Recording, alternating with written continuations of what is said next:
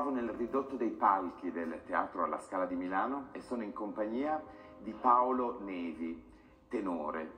Paolo Nevi ha da poco interpretato eh, il ruolo di Paolino nella produzione eh, di Un matrimonio segreto di Cimarosa con la direzione d'orchestra di Ottavio Dantone e la regia di Irina Bruck. Ma facciamo un passo indietro. Com'è nata la sua passione per il canto lirico? La mia passione per il canto lirico è stato un po' un caso, perché io prima di fare questo mestiere, o comunque di studiare per fare questo mestiere, facevo tutt'altro genere, io avevo una band punk rock, quindi facevamo tutt'altre cose. E mm, il chitarrista del mio gruppo si trasferì a Parma, perché a Parma c'è un indirizzo pop rock nel conservatorio, io seguì lui, però dato che al liceo un po' avevo studiato canto lirico, ho deciso facciamo canto lirico, anche se non sapevo esattamente cosa fosse. Dato che non sapevo cosa fosse esattamente, un giorno ho detto ma andiamo in teatro, vediamo di cosa si tratta. Quindi andai a vedere Bohème in teatro e Bohème è una, un'opera che rapisce. Sono uscito dal teatro dicendo voglio fare questo, nella mia vita voglio fare questo. E passare dal canto pop rock, mm-hmm. come lei lo ha definito, ad invece un rigore eh, dello studio di uno spartito di musica classica, anche se credo che probabilmente anche nel pop e nel rock c'è un rigore, ci sia una preparazione, ci sia una disciplina. Sì, c'è tutto si può fare con disciplina e tutto si può fare senza disciplina, ovviamente. Diciamo il passaggio è stato un po'... Eh, non, non, è stato in realtà molto lento, è stato repentino perché da un giorno all'altro veramente ho deciso no voglio fare questo nella vita e ovviamente lo studio diventa più intenso, bisogna pretendere tanto da se stessi, bisogna sempre dare il 100% perché ovviamente il canto lirico, il bel canto è, è, deve essere perfetto, non deve avere sbavature nella tecnica, nella, nell'interpretazione, mentre nel rock diciamo se ci sono delle sbavature magari è anche bello, no? Tante volte, se sono sempre pensate. A livello sociale è stato strano, no? Perché i miei amici uh, le persone mi conoscevano, mi conoscevano in una maniera, poi il giorno dopo ero tutt'altra persona no? o facevo tutt'altre cose, per quanto alla fine la persona è sempre quella, io sono sempre, sempre me stesso, sono una cosa che mi piace fare altra, un, altro, un, altro, genere, una, mi piace fare teatro soprattutto. Da un punto di vista vocale quali sono state le difficoltà nel passare, come diceva lei, da da quello che può essere la nota sporca che dà carattere, che dà interpretazione nel repertorio rock, invece ad un rigore, ad un essere controllare i suoni. Io l'ho sentita cantare nella recita di Matrimonio Segreto, ha un bellissimo timbro e una grande voce, per cui credo che quello a cui lei deve stare attento è governare la sua voce. Secondo me nel canto, nella tecnica, va molto anche la psicologia, cioè nel senso un cantante deve stare molto attento anche a porgere molta attenzione sul, su, sullo stato emotivo, perché tecnica a volte è molto correlata allo stato emotivo. Tante volte una persona dice io no, questo passaggio non riesco a farlo, non riesco a farlo, non riesco a farlo, più dice non riesco a farlo e più, più non, viene. non, viene. Magari lascia perdere il, lo spartito o l'aria che sta cantando, quel passaggio per mesi, lo riprende e come nu- viene come... In maniera viene, naturale. Sì, in maniera molto naturale. Lei frequenta l'accademia, ha frequentato l'accademia eh, del Teatro alla Scala per cantanti lirici. In questa accademia ci sono insegnanti di tecnica vocale, ci sono ripassatori di spartito, poi avete molte occasioni per stare in palcoscenico, mm-hmm. perché eh, se ne sarà reso conto subito, un conto è cantare un'opera di fianco a un pianoforte in piedi, un certo. conto poi è essere su un palcoscenico. E credo che l'Accademia del Teatro alla Scala in questo eh, dia un grandissimo valore aggiunto, non solo per la qualità degli insegnanti, ma perché dà ai propri prescelti ehm, l'opportunità di calcare il palcoscenico, non solo nelle produzioni, come è stato il caso eh, di, del matrimonio segreto, fatte interamente dall'Accademia, ma perché vi, vi, si è data qualche volta l'opportunità di far parte anche delle produzioni scaligere di fianco ai grandi insegnanti. I grandi cantanti del passato hanno sempre affermato che imparavano moltissimo dai colleghi il modo di come uno respirava, come teneva il diaframma, non solo da un punto di vista musicale, ma proprio da un punto di vista tecnico. Lei ha avuto esperienza, ha avuto la possibilità, oltre ai titoli dell'Accademia, di partecipare a messe in scena di altre produzioni scaligere.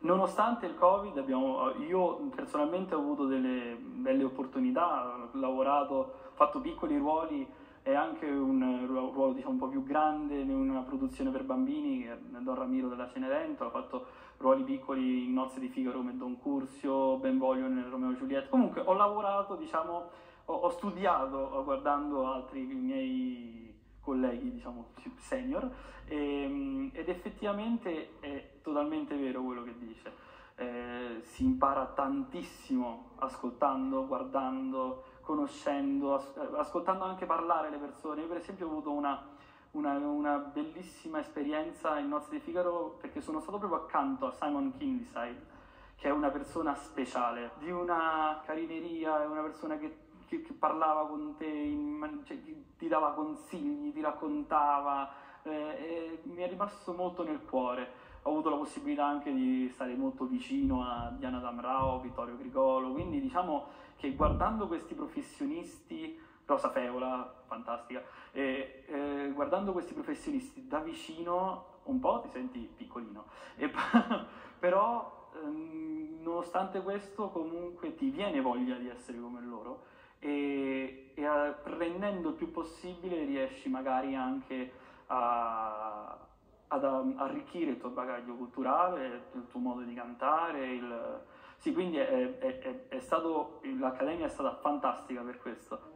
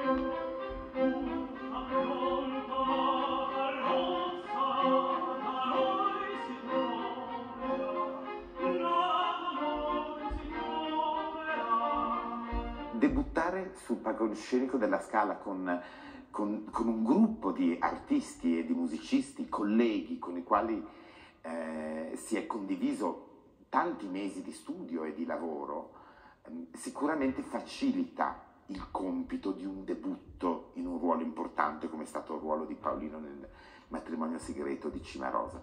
Nella vita non sarà sempre così, eh, succederà sicuramente che avete dei colleghi che magari non, per, que- per, i quali non avete simpatia, o un direttore d'orchestra che, che non vi ama, o un regista che non vi ama. È una carriera in questo molto difficile dove credo si debba mantenere un centro, una convinzione di quello che si è, essendo però aperti a, metters- a mettersi in discussione.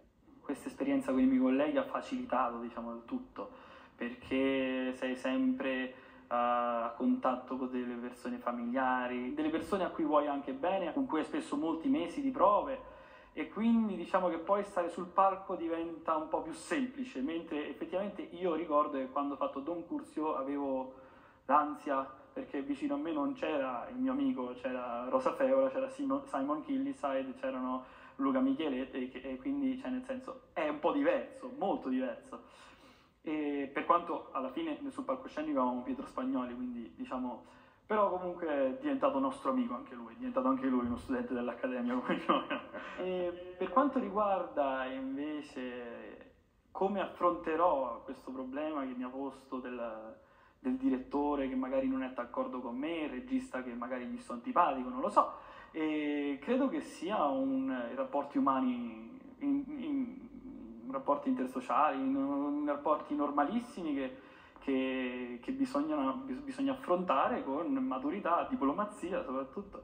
E, ovviamente bisogna sempre essere autocritici. Io personalmente sono uno che dà sempre ragione o mia madre è una professoressa di inglese, non c'entra niente, però io do sempre per mia, per mia educazione do sempre ragione al professore o al maestro, quindi solitamente io non mette che in discussione. non, difficilmente metto in discussione, per quanto in realtà, cioè, ovviamente nei limiti, cioè, se il maestro mi dice una cosa che effettivamente non è vera o che credo sia fermamente che non sia pertinente o quello che stiamo facendo, io metto in dubbio la sua opinione, ovviamente, perché se no non, non, sarei una macchina e questo non ci piace.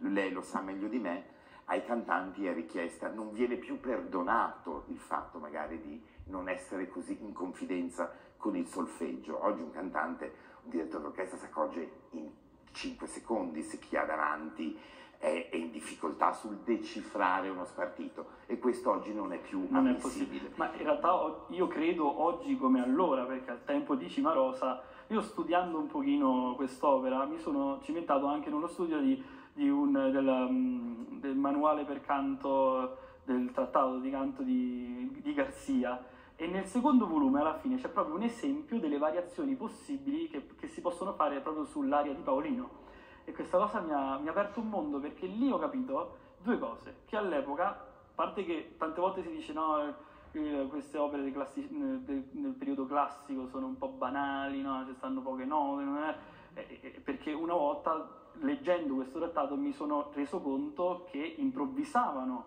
delle, delle, loro variazioni e quindi il cantante era proprio, cioè a voglia se era musicista, scusate. Certo, anche una, mi allaccio a quello che lei ha appena detto.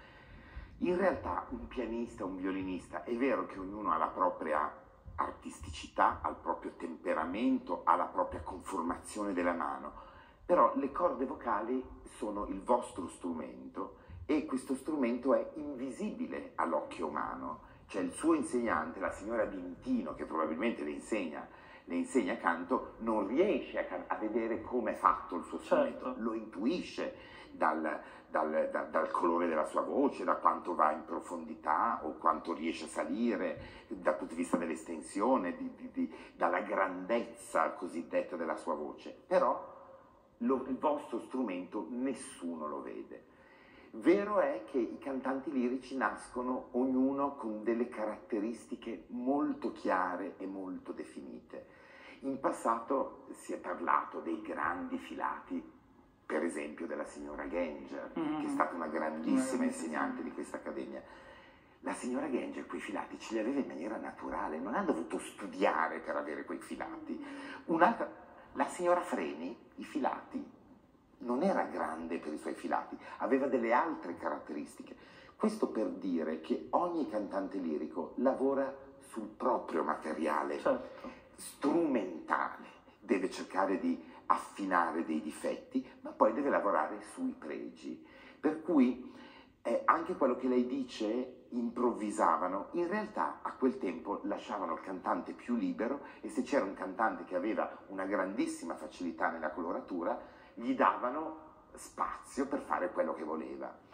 Poi a un certo punto nel, nell'Ottocento ci sono stati compositori che hanno detto adesso calma perché scriviamo quello che vogliamo esatto. che, venga, che venga eseguito.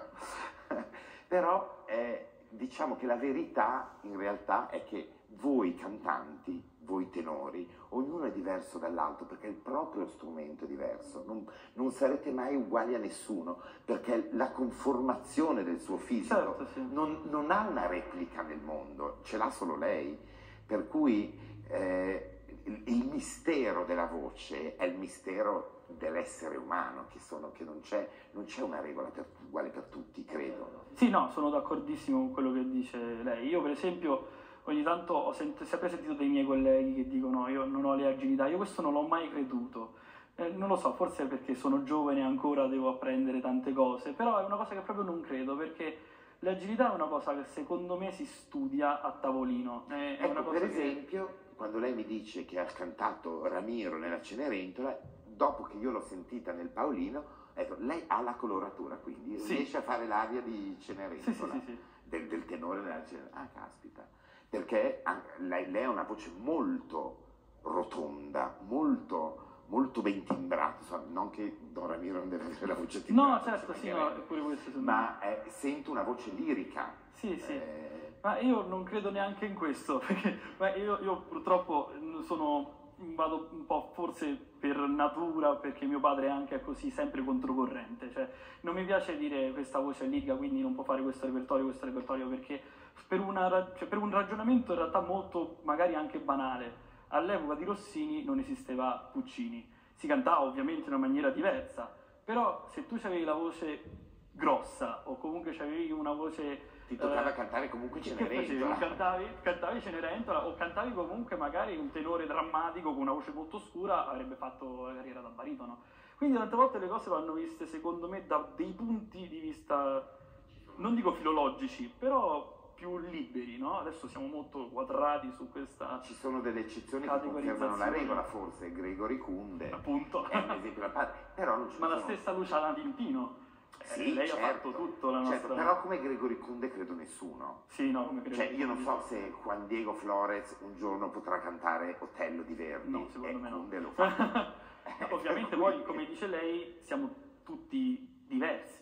Come gestisce l'ansia da palcoscenico? Lei è uno che prima di entrare, in- quando è in camerino, cinque- quando dicono 5 minuti, dice vorrei essere in piazza a giocare a calcio o non vede l'ora di andare in palcoscenico? A me non piace il calcio, però, però ehm, no, devo essere, questa è proprio una cosa, se sono sicuro o comunque all'80% sicuro di quello che sto per andare a fare, come lo sto, come lo sto andando, come lo sto per, per affrontare, l'ansia non c'ho, ho solo quella utile, diciamo, quella utile per performare una maniera giusta, per dare giusto sfogo al proprio corpo.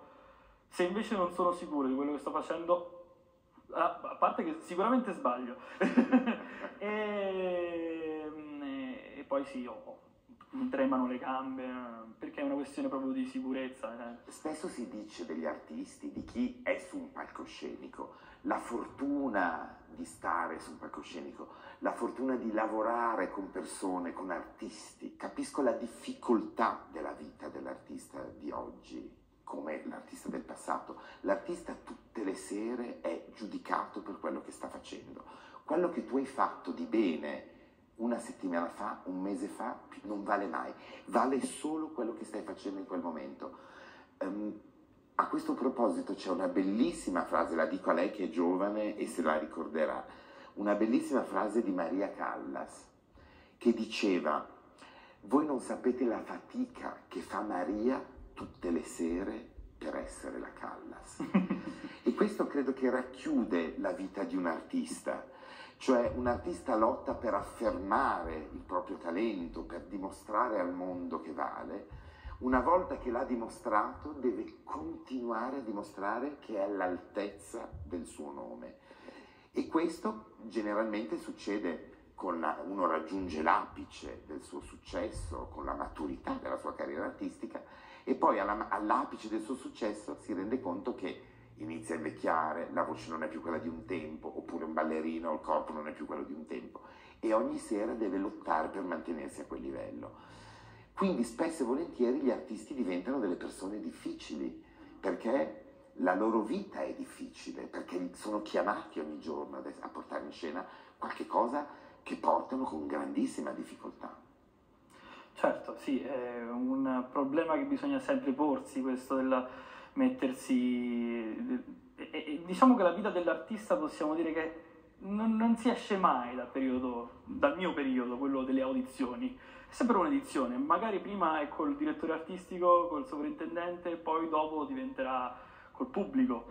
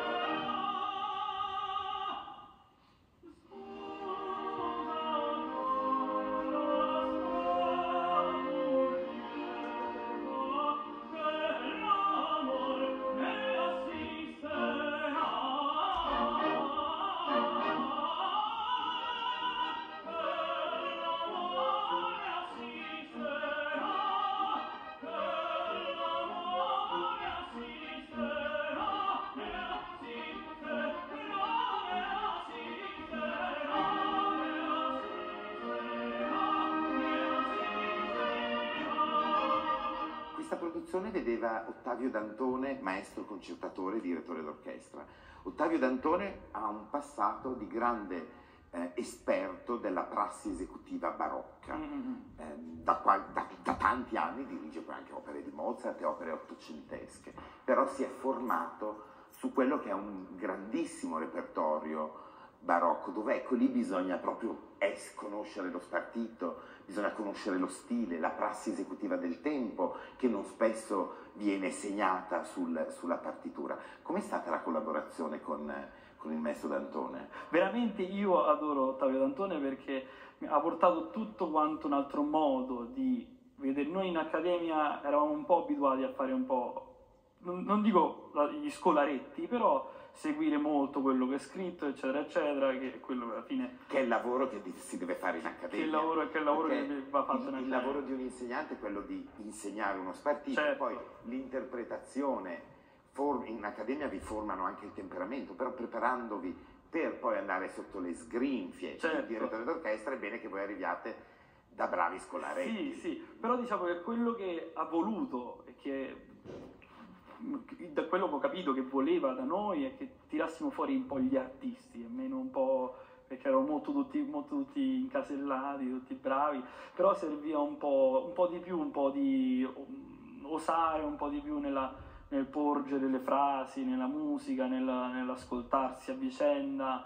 E questo mi è piaciuto molto, mi è piaciuto eh, Maestro Antone anche proprio il fatto che lui venisse da, che, che è un maestro che, lavora soprattutto sul barocco e quindi ha portato diciamo una visione barocca, barocchista nel classicismo che è molto più tra virgolette corretto secondo me eh, che portare quella romantica nel, nella prassi ovviamente, nella prassi esecutiva romantica, nel classicismo. E quindi diciamo è, è, anche se poi alla fine abbiamo fatto tutto una, un po' una via di mezzo per adeguare un po' le necessità dei cantanti, di, quello che si era studiato fino a quel momento, però a me è piaciuto molto questo, il suo primo approccio, a, quando è venuto abbiamo fatto la prima prova di compagnia, mi ricordo che io sono stato il primo a cantare perché l'opera inizia con me, stato mi ha iniziato a, non, non, dico a trattare male, però non capiva perché non stessi facendo musica, no? Perché stavo cantando effettivamente, pensavo molto ok, adesso devo fare questo, non, non, non stavo esprimendo molto